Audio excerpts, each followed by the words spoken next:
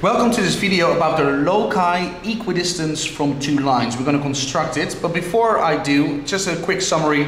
We've done loci from a point, uh, we've done loci from a line, loci equidistance to two points, and now the final one, equidistance to two intersecting lines. And we realize that loci means all the points fitting a particular description, okay? Uh, so make sure you've seen those videos before you uh, uh have a look at this one, and you can check my site explainingmaths.com where you're going to find all my resources nicely uh, put together for you. Okay, now let's say I have the line AB, um, okay, over there, and I'll make another line, let's say with an angle of 60 degrees, AC. Okay, now that this could be the shore, uh, perhaps of, uh, so this is uh, the land, okay, and then we have the sea in the middle. And this boat wants to make sure that it sails exactly equidistance of AC to AB, so exactly in the middle. Yeah? So just your gut's feeling, exactly equidistant from those two lines, you know this boat has to roughly sail like that. Do we agree with that? Equidistance, yeah? So I'm not going to sail here, I'm not going to sail here because that's nearer to AB than to AC. No, I'm going to sail exactly in the middle. But this is not estimation, yeah, this is not science, guys. This is maths, yeah. We do things properly and accurately. So how do we do that? We have to construct the angle bisector. Well done, yeah? So before I do, very quickly, loci from a point, you do the circle, okay, with a radius of a particular amount. Loci from a line, parallel lines, yeah? But then at the vertices, semicircles, depending on the question.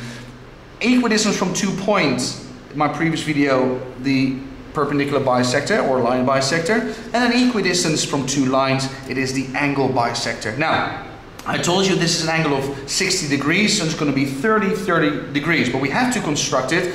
And in other videos I've shown you how to do that but I'll show you now again. It's very easy. Um, you have a compass and make sure you buy a compass. They're not expensive but when you open it that it stays in the same position.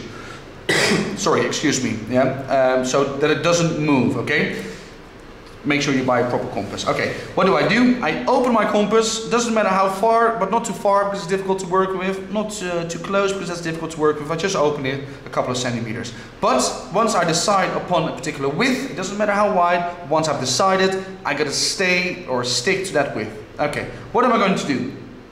I'm gonna put the needle in my angle and I'm gonna intersect, intersect I should say, those legs that create my uh, my angle okay? So it's there and there. I'm not sure if you can see that so I'm in black. I'm just going to um, just going to trace that with marker. So this arc of the circle and that arc okay? I do not have to draw the entire circle yeah? That's just going to confuse me. I'm only interested in those uh, intersecting parts with the arms of my angle. Okay very carefully, I'm not going to change the width. And if I accidentally change the width of my compass, I just have to start over again, doesn't matter.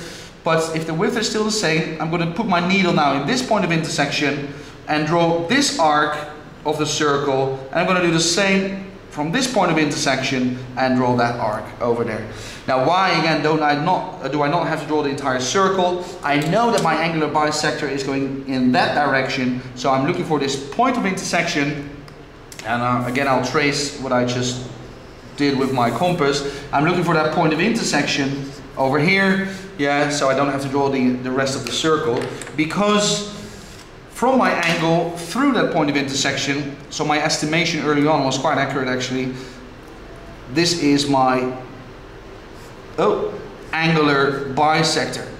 And I'll tell you that a long time ago, I was in the Navy and we used to do this all the time yeah? Creating um, the loci of points equidistant to, to lines yeah, because then we knew how to navigate the ship yeah and I'm pretty sure they still do it okay so it's the angular bisector good like and share if this was useful guys um, then I can help your friends too check my site explainingmaths.com you can ask me questions there if you want in the forum I'll help you you'll find all the videos basically you need to pass your maths exams. Yeah, all for free by the way. I'll see you later. Bye bye.